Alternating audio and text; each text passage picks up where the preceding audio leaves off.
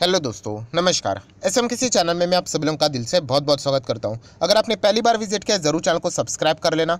साथ में bell icon को हिट करके ऑल ज़रूर सेलेक्ट कर लेना। उसी के साथ साथ फ्री स्टॉक मार्केट क्लासेस। इस चैनल को भी चाहो तो फॉलो कर सकते हो, सब्सक्राइब कर सकते हो। यहाँ पर भी बेल आइकन को हिट करके ऑल ज़रूर सेलेक्ट करके रख लेना। इस चैनल का लिंक ऊपर आई बटन पर या फिर नीचे डिस्क्रिप्शन बॉक्स में मिल जाएगा।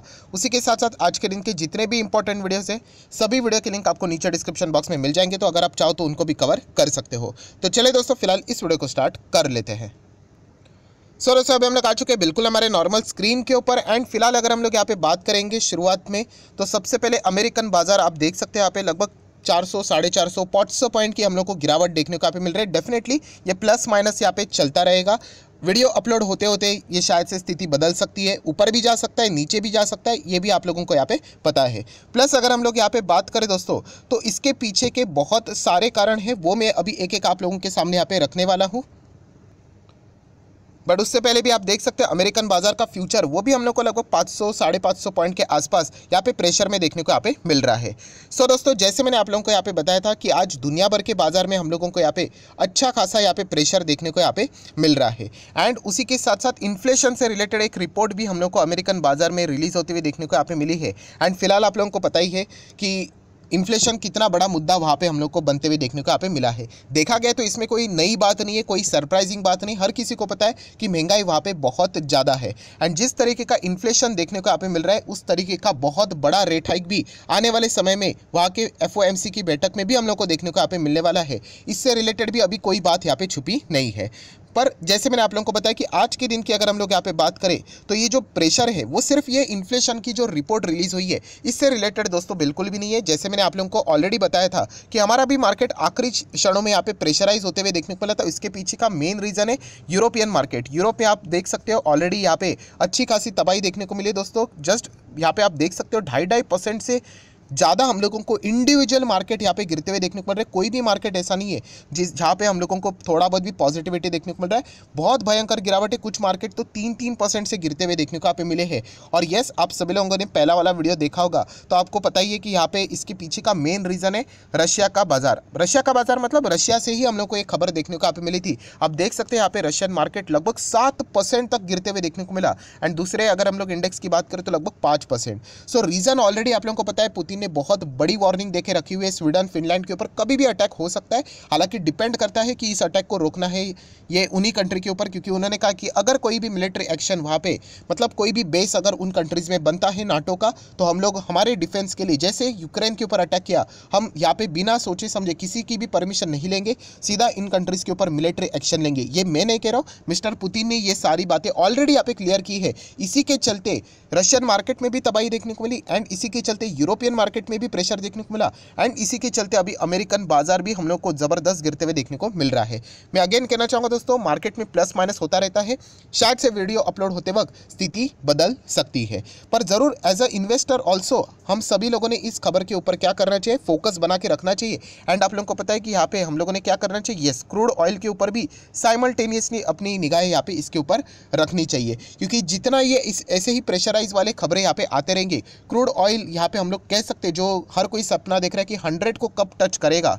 यहाँ पे हम लोग बात करें डॉलर के हिसाब से प्रति बैरल, तब जाके बहुत बड़ा मैसिव गिरावट होगा। बट इस तरीके की खबरें क्रूड ऑयल को हंड्रेड तक लाने में बहुत ही मतलब हम लोग को मुश्किल यहाँ पे होते हुए भी देखने को मिल सकती है। सो डेफिनेटली अमेरिकन बाज़ार फ़िलहाल तो हम लोगों को इस तरीके से चलते हुए देखने को मिल रहा है। आशा करेंगे कि यहाँ पे गिरावट और ना हो। कम हो जाए तो एक थोड़ा सा रिलीफ यहाँ पे हो सकता है। ठीक है, ये तो हो गई पहली वाली खबर। अभी आ जाते हैं दोस्तों सेकेंड इंपॉर्टेंट खबर की ओर, जिससे रिलेटेड कल मैंने आखिरी वीडियो में भी एक इंपॉर्टेंट पॉइंट कवर किया था। यस महाराष्ट्र। अगर हम हमारे इंडिया की बात करें, भारत की बात करें तो महाराष्ट्र हम कह सकते हैं कि एक बहुत ही इंपॉर्टेंट स्टेट है एंड वहाँ पे अभी हम लोग को सरकार पूरी तरीके से चेंज होती हुई देखने को यहाँ पे मिल चुकी है। सो so डेफिनेटली मैं अगेन कहना चाहूँगा एज अ इंडिविजुअल हर किसी का अपना अपना ओपिनियन अलग हो सकता है बट मार्केट को अभी क्या लगता है? क्योंकि अगर हम लोग देखें तो कल के दिन हम लोगों ने लेट नाइट खबर देखी थी कि जो करंट वहाँ के जो चीफ मिनिस्टर थे, उद्धव ठाकरे जी, उन्होंने यहाँ पे क्या किया था? रेजिग्नेशन दिया था।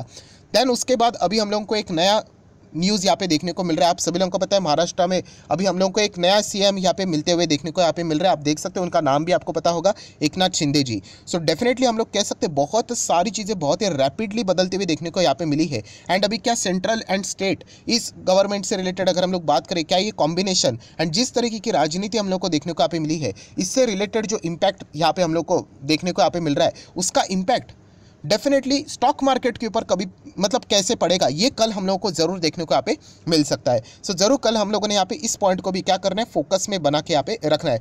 जैसे मैं इस टॉपिक से रिलेटेड कोई भी पॉइंट रख देता हूँ कमेंट सेक्शन में तो आप लोगों को पता है फाइट तो यहाँ पे शुरू हो जाती है। कुछ लोग ये भी पूछते हैं सर आप क्यों पॉलिटिक्स की चीज़ें कवर करते हो? स्टॉक मार्केट से रिलेटेड ही बातों को कवर करो तो दोस्तों मैं आपको बताना चाहूँगा कि ये सारी चीज़ें स्टॉक मार्केट से रिलेटेड ही डायरेक्टली ने इनडायरेक्टली लिंक रहती है। क्यों? क्योंकि अभी हम लोग को एक रिपोर्ट भी जारी होती हुई देखने को यहाँ पे मिली है। कि यहाँ पे आप सभी लोगों को पता है, सरकार बदलते हुए देखने को मिली है। कुछ प्रोजेक्ट्स ऐसे थे जो कि पुराने सरकार के अंडर हुआ करते थे, वो हम लोगों को कंप्लीटली चलते हुए देखने को नहीं मिल रहे थे, वो वापस हम लोगों को चलते हुए देखने को मिलेंगे। इस प्रकार की रिपोर्ट देखने को मिले तो इसके चलते कौन कौन से स्टॉक्स है, जो कि अगर आप स्टडी करना चाहते हो तो आप चाहो तो उनको रडार के ऊपर रख सकते हो। वो मैं आपके सामने रखना चाहूँगा, मैं अगेन कहना चाहूँगा, ये कोई रिकमेंडेशन वाली बातें नहीं है। ये आप लोगों को सीखने के लिए, ये सारी बातें मैं आप लोगों के सामने रख देता हूँ।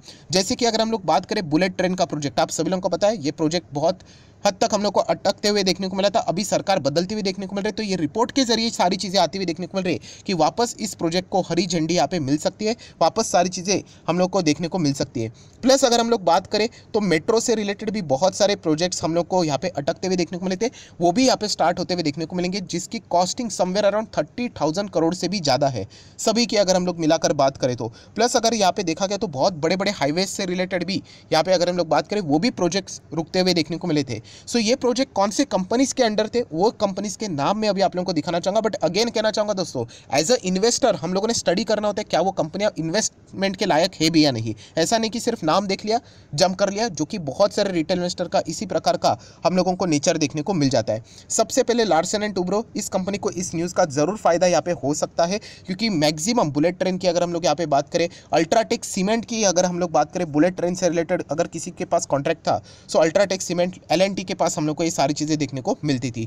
प्लस अगर हम मेट्रो से रिलेटेड भी बात करें तो एलएनटी एंड रोड से रिलेटेड अगर हम लोग यहाँ पे बात करें तो रिलायंस इंफ्रा अभी ये कंपनी ऑब्वियसली मैं मैं रिकमेंडेशन दूँगा ऐसे कंपनी से रिलेटेड बिल्कुल भी नहीं बट ये सिर्फ़ न्यूज़ आप लोगों को कवर करने के लिए। या आपको ज़रूर कहना चाहूँगा इन कंपनीज़ के पास ये प्रोजेक्ट है तो ज़रूर यहाँ पे हरी झंडी अगर इन प्रोजेक्ट्स को वापस मिल जाती है, वापस वो अनलॉक हो जाते हैं तो ज़रूर इन कंपनीज़ में तेज़ी आ सकती है। बट जैसे मैंने कहा मैक्सिमम चार्ट पैटर्न चेक कर लेना तो देख लो, ये तो कंपनी क्या इन्वेस्टेबल है? बट नहीं रिटर्न इन्वेस्टर इमोशनली होके डायरेक्टली एंटर कर लेंगे, ये सोच के चलो, अभी ये नाइन्टी का नाइन हो जाएगा तो ऐसा बिल्कुल भी करना नहीं है। ये सिर्फ़ सिखाने के लिए मैं आप लोगों के सामने ऐसे स्टॉक यहाँ पे लेके आता हूँ, बाकी सारी चीज़ें सेवन पैरामीटर्स जैसी चीज़ें एंड कैसे और भी चीज़ें चेक करनी होती है, ये मैं आपको सिखा चुका हूँ। सीमेंस जैसी कंपनी को इस न्यूज़ का फ़ायदा यहाँ पर हो सकता है।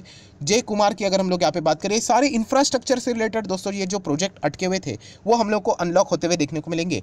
तो इन कंपनीज़ को यहाँ पे फ़ायदा हो सकता है। भेल की अगर हम लोग बात करें एनसीसी लिमिटेड अभी एनसीसी भी बिल्कुल भी मुझे पसंद नहीं है। आप देख सकते हैं आप ये देखिए साइडवेज इन्वेस्टमेंट के लायक ही नहीं है। बट येस इस कंपनी को फ़ायदा हो सकता है ये ज़रूर है। बट ये इन्वेस्टमेंट वाला स्टॉक नहीं ये भी पता होना चाहिए। पीएनसी इंफ्राटेक आप देख सकते हैं यहाँ पे यहाँ पे भी मैक्सिमम चार्ट पैटर्न देखोगे तो ओके ओके देखने को मिल रहा है। सो so, इन स्टॉक्स को स्टडी करना है दोस्तों मैं अगेन कहना चाहूँगा मतलब रिक्वेस्ट बार बार करना चाहूँगा दोस्तों प्लीज़ यहाँ पे डायरेक्टली जाके खरीद लेते हैं बहुत सारे लोग, बिना सोचे, समझे कुछ भी।